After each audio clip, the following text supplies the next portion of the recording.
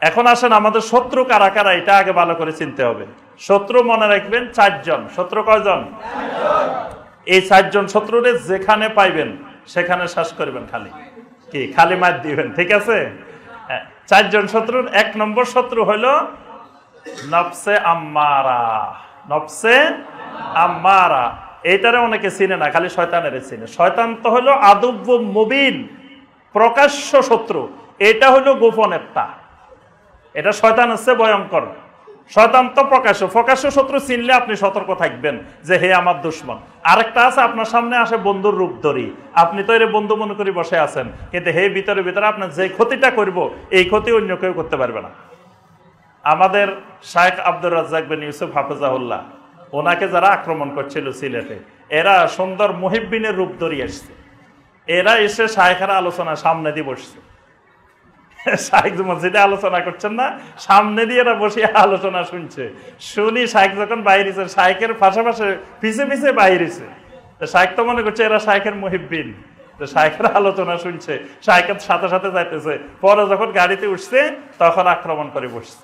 তাহলে এই বন্ধু রূপে যে দুশ্মন, এর দ্বারা ক্ষতি হয় বেশি।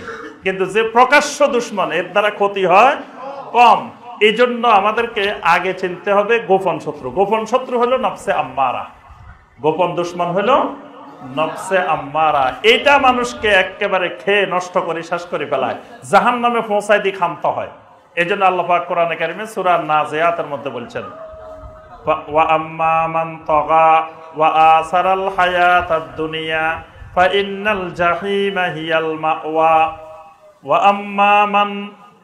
আম্মা মান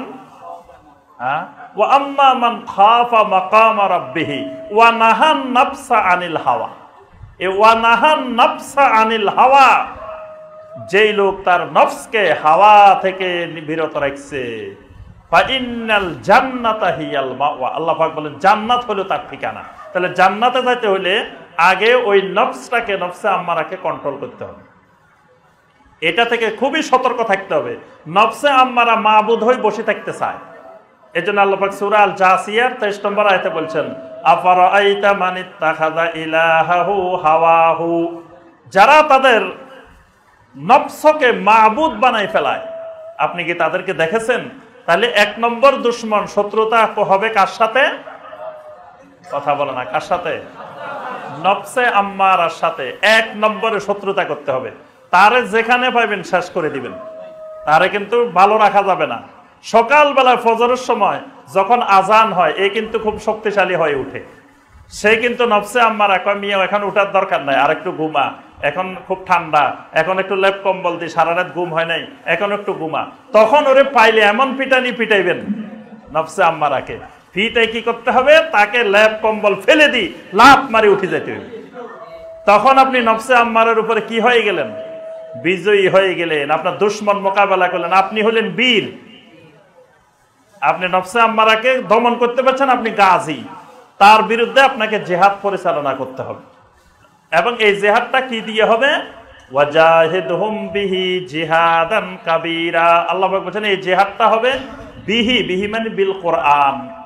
কোরআন দিয়ে জেহাদ করতে হবে বিরুদ্ধে। কারণ দমন করতে হলে পিস্তল দিয়ে, বন্দুক দিয়ে, ছুরি দিয়ে কাজ হবে না।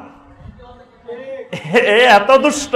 এর কেমনে দমন করতে হবে? এটা কোরআনে আছে, আল্লাহ শিখাই দিচ্ছেন এজন্য আল্লাহর দেওয়া পদ্ধতি অনুযায়ী তাকে দমন করতে হবে। এজন্য কোরআন দিয়ে জেহাদ করতে হবে তার বিরুদ্ধে। আর আমরা বিস্তারিত যাচ্ছি না। দুই নম্বর দুশ্মন, শয়তান। শয়তান ইন্নাহুলাকুম আদুব্বু মুবিন। শয়তানের ইবাদত করা যাবে না। আল্লাহ বলছেন, ইয়া বানিয়া আদামা আল্লাহ তাবুদু শয়তান খবরদার, শয়তানের ইবাদত করিও না। তো শয়তানের ইবাদত কেমনে হয়? সকালবেলা ফজরের নামাজের জন্য একদল উঠছে, আর একদল উঠে নাই। আমরা মনে করি যে লোকগুলো উঠছে, এরা এবাদত করছে। যে লোকগুলো উঠে না এরা এবাদত করে না কিন্তু আসলে ওরাও এবাদত করছে। যারা উঠছে, তারা ইবাদত করছেন আল্লাহর। যারা উঠে নাই, তারা ইবাদত করছে শয়তানের। এই জন্য আল্লাহ বলছে লা শয়তান। শয়তানের ইবাদত করিবে মদ, জুয়া, এগুলাকে আল্লাহ বলছেন, মিন আমালি শয়তান। এগুলো শয়তানের কাজ, এগুলো শয়তানের আমল, শয়তানের কাজ। এই কারণে এই শয়তানের বিরুদ্ধে আমার আপনার জেহাদ অব্যাহত থাকবে। জেহাদ ও শয়তান। শয়তান আমাদের দুই নম্বর দুশ্মন। তিন নম্বর দুশ্মন, তিন নম্বর দুশ্মন হলো আল কুফার ওয়াল মুনাফিকিন কাফেরা এবং মুনাফেকেরা এরও মুসলিমের কখনো বন্ধু না। এদের সাথে ওয়ালা করা যাবে না। আল্লাহ পাক কড়া নিষেধ করছেন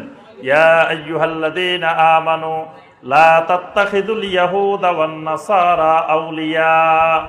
এদেরকে কখনো আউলিয়া বন্ধু হিসাবে গ্রহণ করিও না। যদি করো, তাহলে তোমরা তাদের অন্তর্ভুক্ত হয়ে যাবে।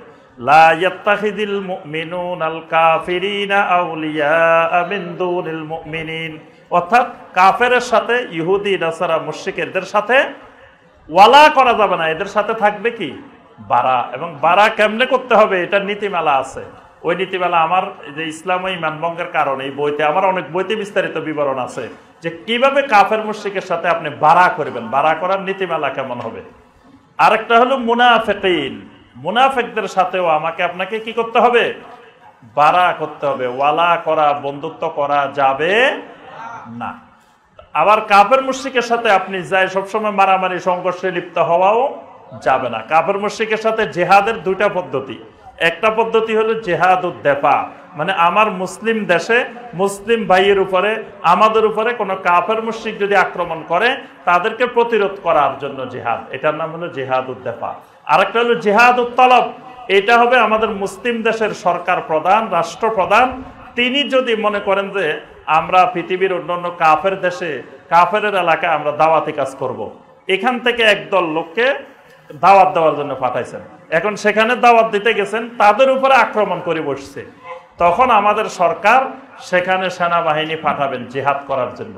সেনাবাহিনী জেহাদ করতে করতে আর পারতেছে না। তখন আমাদের জনগণকে বলবে যে, তোমরাও তোমাদের সেনাবাহিনীর সাথে যোগ দাও। তখন আমরা গিয়ে সেখানে জেহাদ করব। এটার নাম জেহাদ উত্তলব কিন্তু এমনি গুহার ভিতর থেকে, কোনো এক গর্ত থেকে কেউ আমাদেরকে জেহাদের জন্য বলছে, দৌড় দিছেন জেহাদে, এটা মারা গেলে শহীদ হবেন না, এটা আত্মহত্যা হবে। এইরকম জেহাদে অংশগ্রহণ করলে আত্মহত্যা হবে, এটা কখনো এই জেহাদের মাধ্যমে শাহাদাত হবে না। শাহাদাত হতে হইলে শরীরই সকল শর্ত মেনে করতে হবে। চার নম্বর, আমার আপনার দুশ্মন হলো আহালুল বেদা ওয়াল আহওয়া। মানে আহলুসুন্নার শত্রুতা হলো আহালুল বেদার সাথে এবং আহালুল আহওয়া। আহওয়া মানে যারা হাওয়া অনুযায়ী চলে। এদের সাথে বন্ধুত্ব হবে না। এদের সাথে হবে বাড়া। এদের সাথে অপছন্দ থাকবে, এদের সাথে ওয়ালা হবে না। শুধু এতটুকু সম্পর্ক থাকবে, যতটুকু তাদেরকে দাওয়াত দেওয়ার জন্য দরকার। তাহলে আমরা পাইলাম যে কাদের সাথে আমাদের বন্ধুত্ব হবে, কাদের সাথে মহব্বত হবে, কাদের সাথে আমাদের বাড়া হবে, কারাহাত হবে, আদাওয়াত হবে।